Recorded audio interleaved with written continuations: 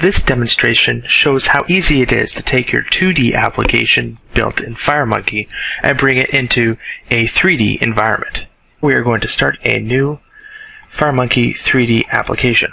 To start, we have this uh, nice 3D space where we can create T rectangle 3Ds. Move around left and right. We got our angles here.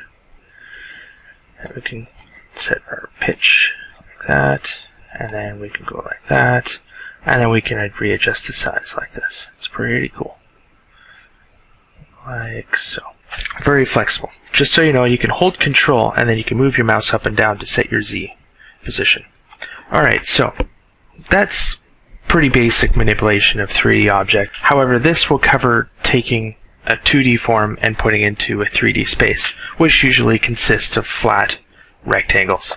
In 3D, we will cover a component called T-Layer 3D. And what this is, is a component that contains a 2D form. So it looks just like a rectangle. You got all of your uh, handles here. But uh, you can take this layer 3D and then you can add a button to it. And then it will appear inside that layer, which is really cool. And then I can actually copy this and paste it. And I have two of them. So I have one closer, one further, type of thing. I can have it angled, like that. Just like so. Now you can create forms in 3D space, but it isn't exactly intuitive, you know, because you have to bring it close and you have to make sure everything's all aligned properly and it's it's just uh, just not intuitive. So what we're going to do is we're going to take our form that we built in the 2D application and we're going to bring it into here. So eh, we're going to create another T layer 3D. Alright, so here we go. And now we will add our other form to this project. So we'll add both of them. Just like so. Alright, so here's our old message form, and then we have the other message list form. What we do is first we have to add the forms, of course, to the uses clause of this uh, unit. So we got form, twitcher, message, and we got form, twitcher, message, list. Save, or to, to autocomplete, and then it ship times, but I'm sure we will just press this once. So when I press this button, it instantly shows up in T-Layer 3D at the top left. Now that's easy, but it, it, it's still pretty manual, and I gotta manually position it. I gotta make sure everything's perfect, and it, it's just not clean. So what we're going to do is we're going to and move it into a concave user interface. I have developed a method that takes in several parameters. I'm just getting that now. And what it does is that it takes in the item ID, which is if you're to have an array of uh, layer 3Ds, you'd specify which one you're talking about. The item ID, the, the length, uh, the width of the scene, the number of columns that you want to have per row, the position of uh, the layer 3D, the X, Y, and the Z, and the width, the height, and the Y rotation of the uh, layer 3D. So just to uh, illustrate this, we're going to have our two panels here. One's over here, one's down there. And we're going to call set 3D grid position when I press this button here.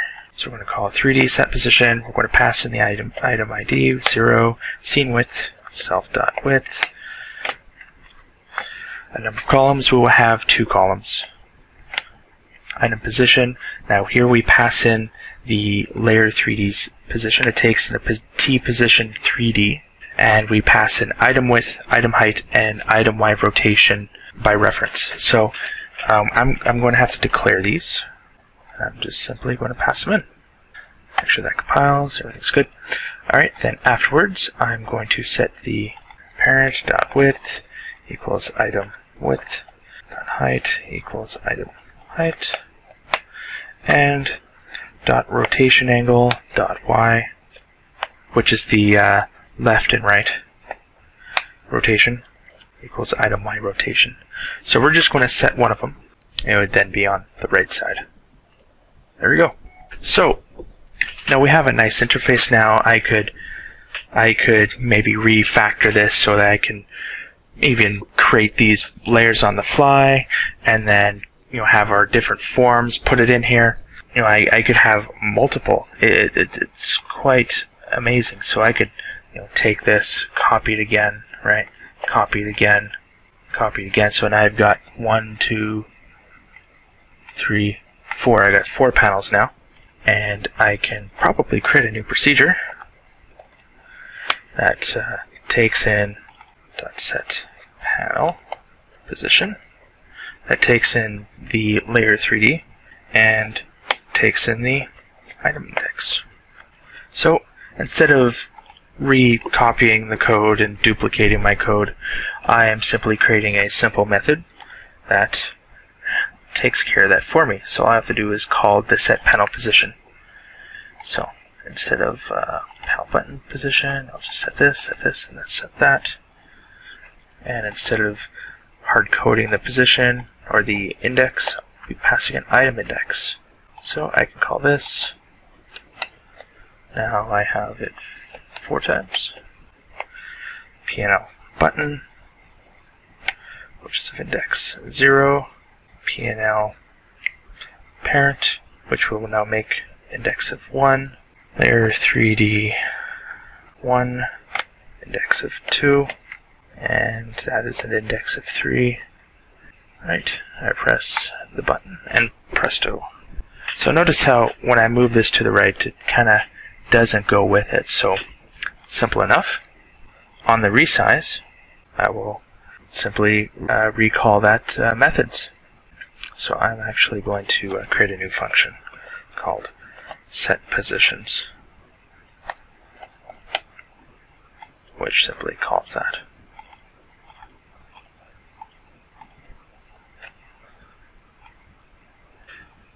So if we were to start the application and press the button, it will you know, set the angles and the positioning correctly. However, if I were to resize, it automatically sets the angle and the position and the height correctly. I uh, plan to release that code for uh, people to uh, download and check out. So uh, take a look at, um, at uh, learndelphi.com for more information. Right now we are setting the rotation angle uh, of the result from the set 3D grid position function and we're assigning it to Y. To change it to a animation, you simply comment out the old and then you go animate float. Then we take our property, we pass it in as a string, rotation angle dot y.